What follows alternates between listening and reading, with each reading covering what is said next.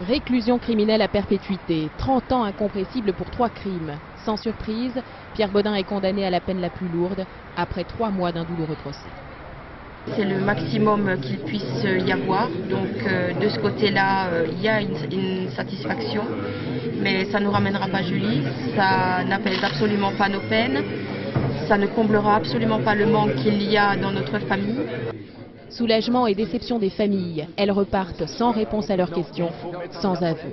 Et si Pierre Baudin ne ressortira pas de prison avant l'âge de 90 ans, pour elle, ce n'est pas une perpétuité réelle. C'est pas une vraie perpétuité, c'est ça le problème.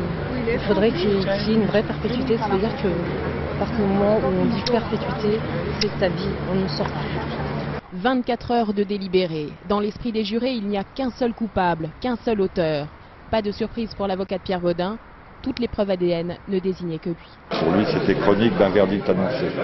Et l'acquittement de ces 16 co-accusés le soulage dans une certaine mesure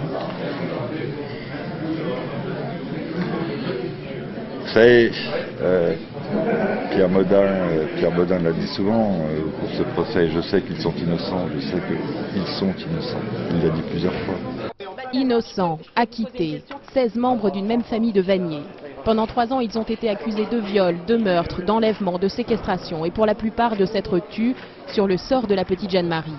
Certains ont passé trois ans en prison, tous ressortent libres. Ça fait trois ans qu'on a obtenu notre innocence, ils nous ont pas cru. Et maintenant, je suis content qu'ils l'ont cru notre innocence parce qu'on était vraiment innocents. On avait vécu tellement de choses, les 300. Les gosses, tout, ils ont tout vécu avec cette histoire qu'on n'a rien à voir. J'espère que les chats, ils comprennent qu'ils ne nous accusent plus maintenant. Vous avez peur que votre famille soit entachée par cette histoire euh, Ah oui. pour longtemps Et pour longtemps, ça c'est sûr. Tout notre cœur, on est tous abasourdis.